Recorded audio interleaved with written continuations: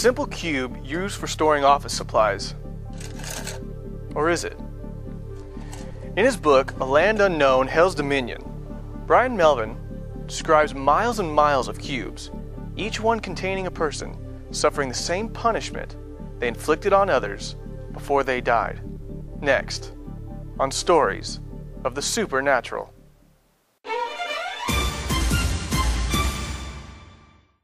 In 1980, I was a rough and ready kind of a guy. I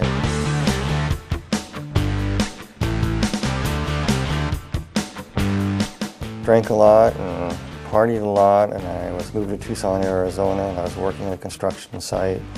And uh, one of the guys brought some water from Mexico that was contaminated. And I ended up drinking it by accident. Got real sick, contracted cholera, and within about 72 hours, I was flat on my back and basically dehydrated.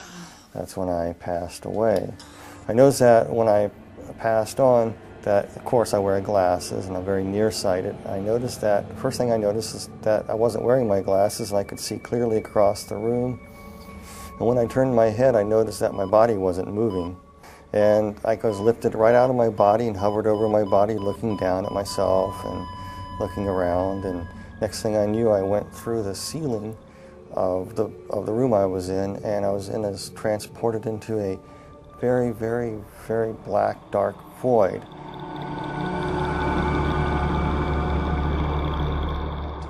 I could hear like somebody speaking to me, like like telepathy, and it was explaining to me many, many things that I have I no longer remember, but most of the the idea was was explaining to you the whys of life, um, why there was evil in the world, why why this, why you know people have questions all the time.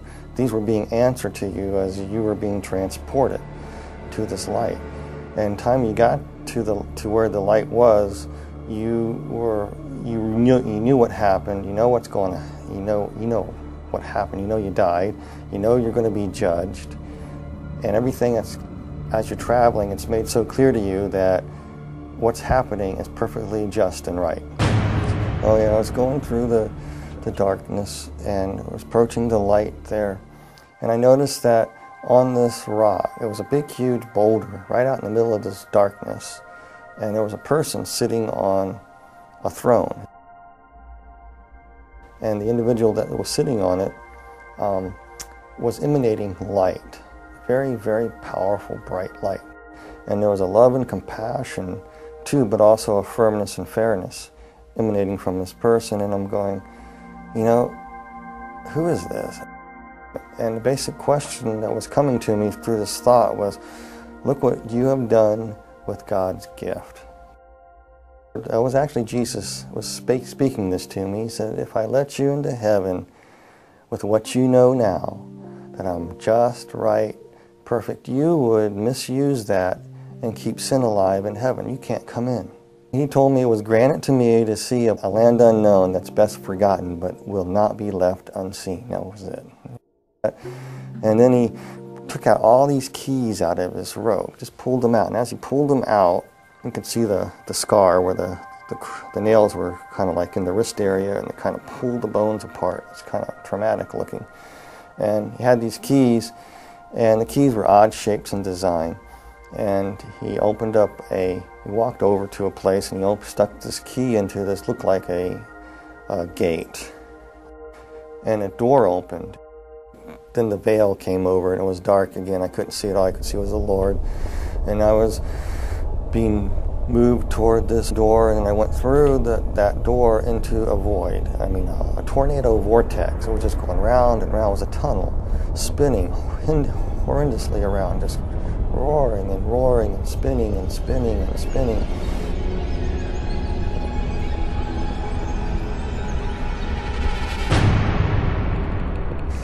and it smelled horrible. I could hear these screeches and noises and sirens.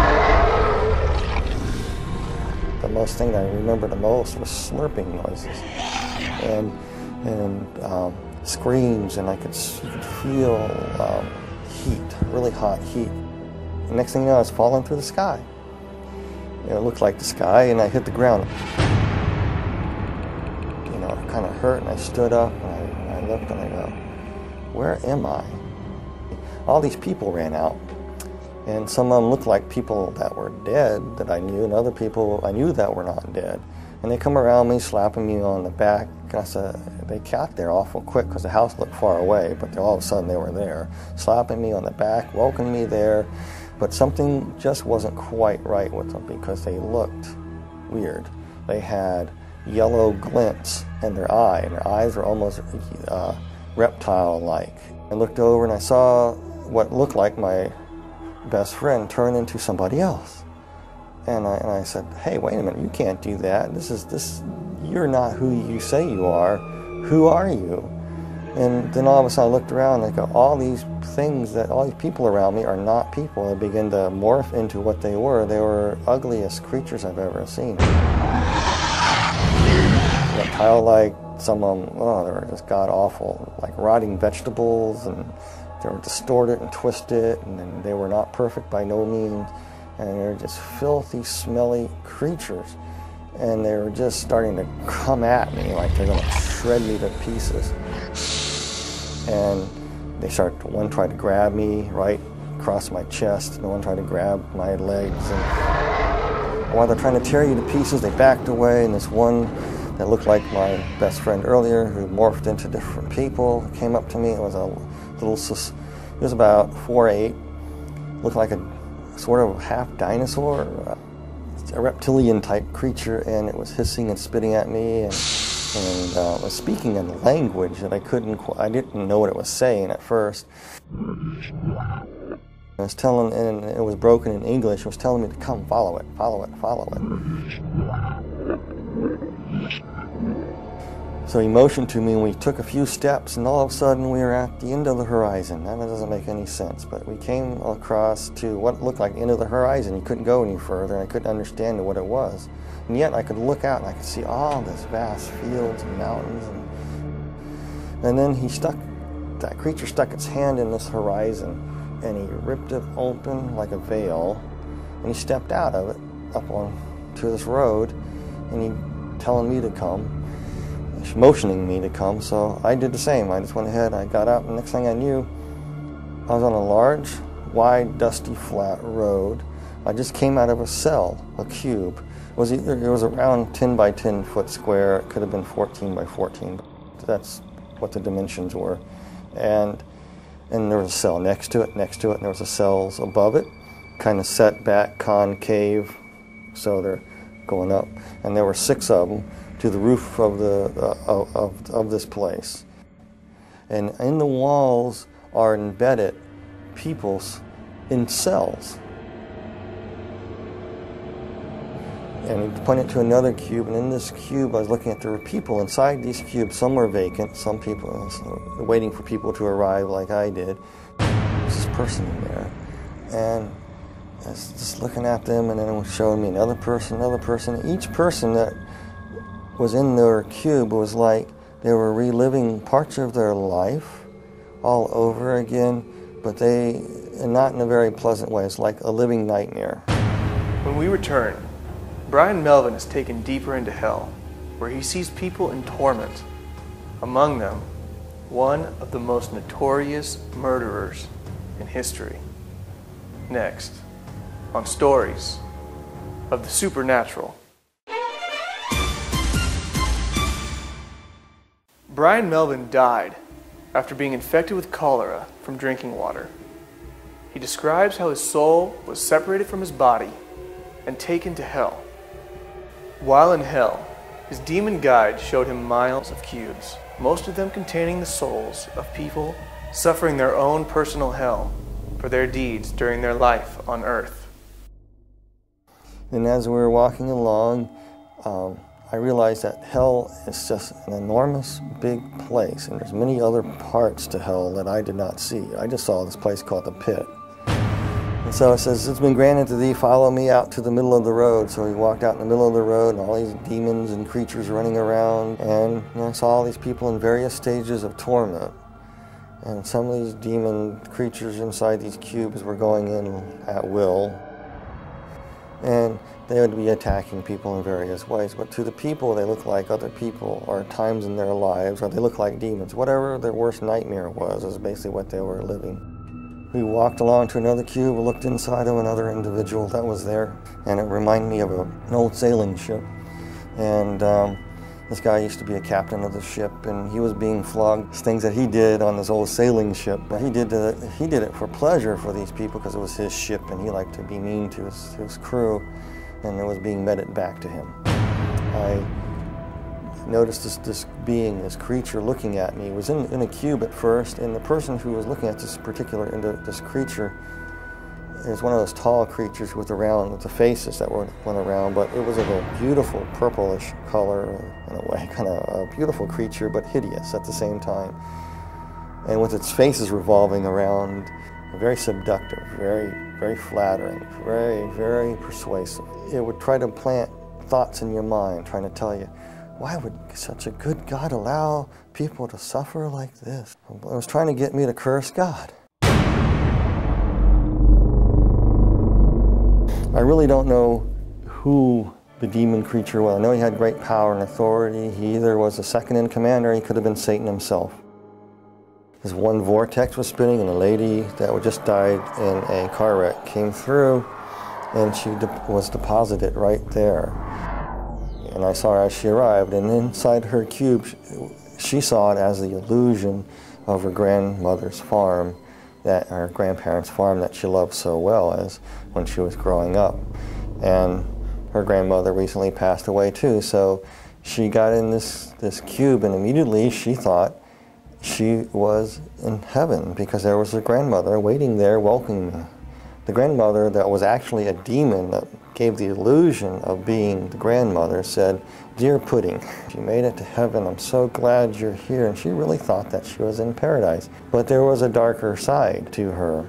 She would make her children be what she wanted. Her children wanted something else. She wanted them to be this. And if they didn't do it her way, it was the fist. It was verbal abuse. It was cutting down. So as she sat down, I was watching it, and the trees, limbs just grabbed her. And then she realized she was not in paradise. And as we passed some cubes, there were people inside, and they were trapped in flames. And it was like their skin was still intact, but they were burning. And there was an individual, and he was playing pool. And this guy was a child serial killer, but he lived in the 1940s. And he, but he was in this pool hall playing this pool before the punishments would commence again. He thought he had a break. And then these people in there would torment him and come and run and just grab him and tear him up.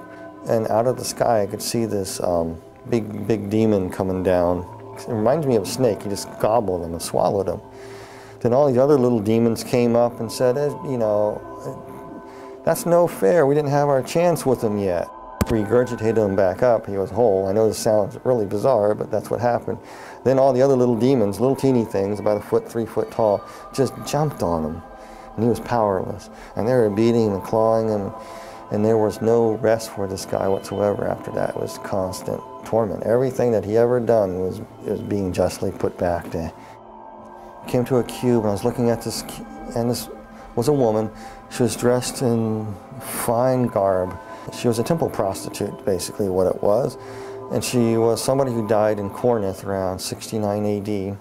For a price, she would have a, a, a, newborn son. For some reason, their religion was some strange thing. When you have a newborn son, you can offer it to, into a statue, and there's flames underneath the statue. You put the baby on the statue, and the, basically the baby will be cooked.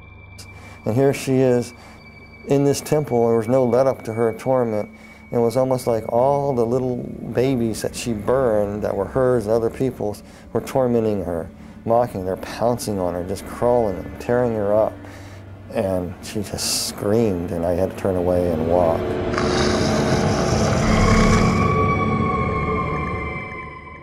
There was a, an individual that um, she practiced the black dark craft. She was a witch. I just knew that she was a witch, but she died many, many, many hundreds of years ago. But she was trapped in a coffin, scratching, trying to get out. She couldn't get out. She was in, in that position for years and years and years and years, hundreds of years. And then finally, when she got it open, all the demons would pounce on her. And we walked on to another cube. We looked in this other cube on, the, on this row, and there was another lady. And she believed that Mother Earth could save her. And then if she honored the trees and the rocks, and she was into this nature thing, and part of their religious practice that she would practice would be getting out in the fields and dancing around a fire with a bunch of other people doing the same the people that she thought that she was with were actually demons and they would come up to her and say, you did this. They pick up a stone. You say, the stone will save you here. And they smacked her with it. So she was standing there and the demons reached down there and, and reached in her mouth, ripped out her tongue and part of her thing says, you talk bad? Oh, the stones are not going to save you. Nobody can save you. Then they ripped off her just actually took her skin and just peeled it off. It was really slow and agonizing to shreds until nothing to the skeletons. Then they took the bones and broke the bones. And she felt everything. Then her body would come back together. The flesh would come back together. And she'd be whole again. And it would start all over again. A different scene would happen. And some of the cruelest people on earth were in these. Um, you know, some people, I don't like to say names of people or anything like that, but I will, will, you know, this one particular individual is definitely there and everybody knows who, who, who it is. It's Adolf Hitler. Hitler was sitting in a cube, the cube was open, and it was just burning flames. He's just sitting there burning. And his flesh wasn't burning, and he had this hideous look on his face. And he was, as he was burning, the flesh would be rotting, and he was feeling every bit of it. It was almost like every oven of the gas, of the concentration camps, all the tortures that went on there were being meted back to him in one intense flaming bit of stoked up white hot heat that would rot his flesh away at the same time, make him ashes, come back. He was just being tormented like that. He was just, I remember having this weird look on his eyes. It was just angry, vicious anger. When we return, Brian Melvin tells how for a moment he thought he may be trapped in hell for all eternity. we were walking in another segment of, of hell near the back recesses of the wall, another segment of the deep dark pit. And we're coming to this one pit that was, there was one place, and this the cube was open, and inside there, this demon was trying to get me to go inside this cube in what looked like a dentist chair. I'm not afraid of dentists at all, but this thing looked like a dentist chair to me, with all these hideous creatures in there trying to say, this is where you are going. And they want you in this cube here. And they were trying to get me in there. And I didn't want to go. And this part is very hard for me. Because you got to understand, you are so scared. this whole time you're there, you're just saying, Jesus Christ, Jesus Christ, Jesus Christ. By that time, I was probably saying Jesus Christ so fast, Jesus Christ, Jesus Christ so fast that it was a blur. That's all I can say. They wanted me in this cube, and I was scared. I didn't want to go in this thing. And like I said, throughout the whole time, you felt a connection with somebody from above, the Lord. And then all of a sudden, you could feel something coming for you. I, I was so petrified, I couldn't distinguish what it was. You could feel the footsteps wa walking behind you and the ground thundering.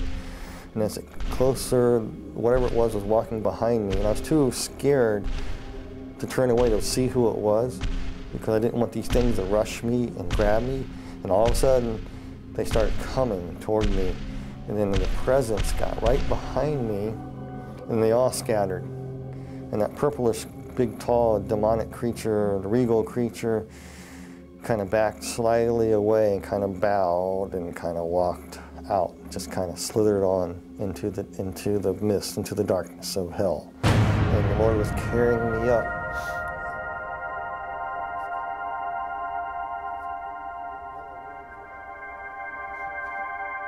I knew who it was, it was Jesus. He picked me up. This is part I remember though so so clearly. He just picked me up in his arms, and I could see the where they crucified him. As he's holding me, his, his bones are pulled apart. He's saying, "I, you pulled apart my bones," and he carried me and kind of floated through the air and went through the the center of the bottomless pit. Went straight up. I remember bits and pieces of being taken to a hospital and waking up in a hospital room and nurses poking me. And when I woke up out of this thing trying to breathe, I grabbed the doctor and said, I'm not in a cube, am I? I better not be in a cube. And the doctor says, No, you're in a hospital. and from it, I was no longer an atheist. there was a God, there is a heaven, and there is a hell.